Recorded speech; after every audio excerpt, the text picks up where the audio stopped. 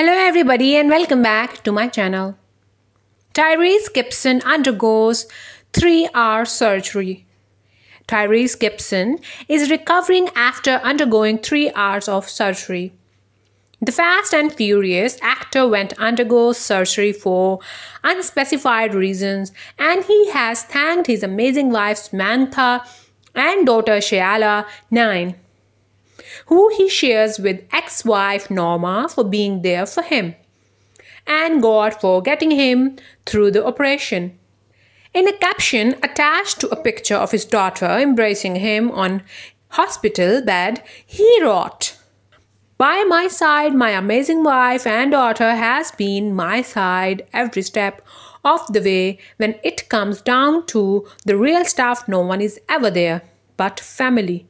Father God, I thank you for your extended grace and mercy. Three hour surgery, I made it through.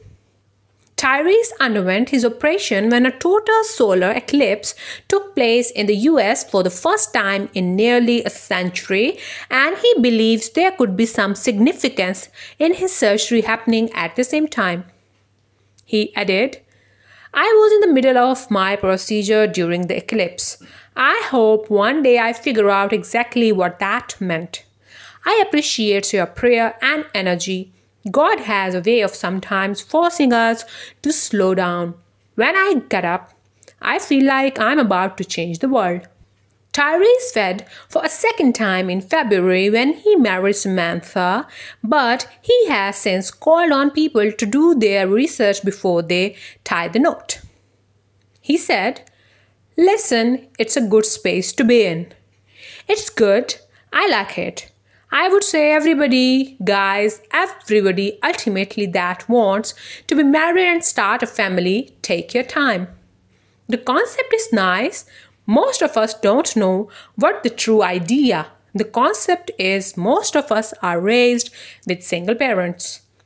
It's nothing something to rush about getting a ring, it's cool, but you have got to really understand what you are doing.